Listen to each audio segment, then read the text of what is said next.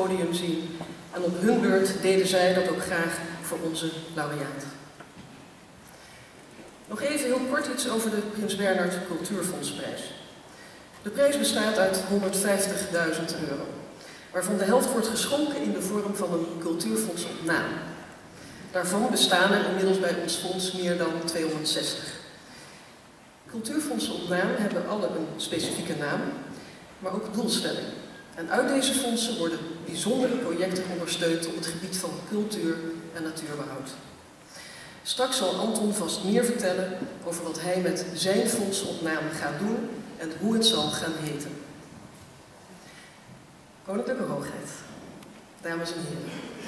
Het moment is nu aangebroken. Het daadwerkelijke lauweren kan beginnen. Maar huldigen doen we zoals we het in de klassieke oudheid al deden, namelijk met het omhangen van een lauwerkrans. De lauwerkrans van het Prins Bernhard Cultuurfonds is een heel bijzondere ketting. En deze ketting is op ons verzoek ontworpen door Alexander van Slobben. De schakels van deze ketting, die u hier achter mij ziet, symboliseren de verschillende werkterreinen van het Cultuurfonds, zoals fotografie en film.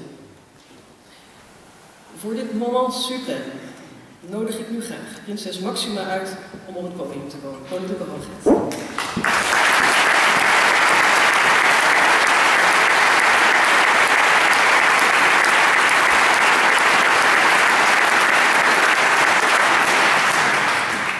En dan nodig ik natuurlijk ook graag de laureaat van vandaag uit om naar voren te komen, Anton